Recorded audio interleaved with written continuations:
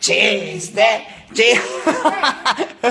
Esta era una vez todas las frutas que estaban esperando el camión, porque se iban a ir en el autobús y estaban en la parada de camión esperando a que llegara, ¿verdad? En eso llega un señor y se le arrima la pera y le dice, oiga, disculpe, ¿desde cuándo espera? Y la pera le dice, no, pues desde que nací.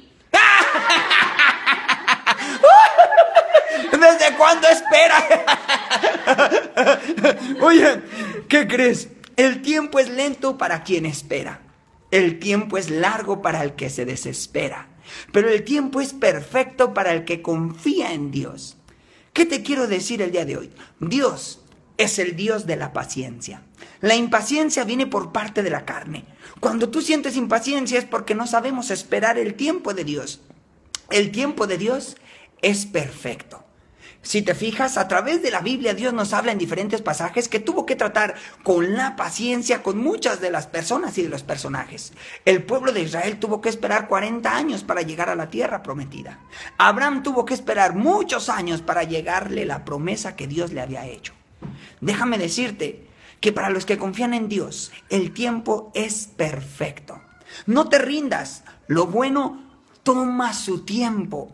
No te desesperes, deja que Dios trabaje en ese proceso tan difícil y cuando tú crees que ya no puedes más, es cuando Dios llega y actúa. Tal vez tú estás pasando por un problema de salud. Tal vez tú estás pasando por un problema en tu matrimonio. Tal vez tú estás pasando algún problema con tus hijos. Pero déjame decirte algo. Si vieras el tamaño de la bendición que está por llegar, entenderías la magnitud de la batalla que estás librando.